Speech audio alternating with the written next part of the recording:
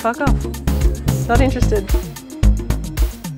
Kelly came up to me and was like, you need to ride that board in competition. It goes so good. What are the rules? Is there a rule in the rule book? I don't think you can ride a twin fin in a tour event.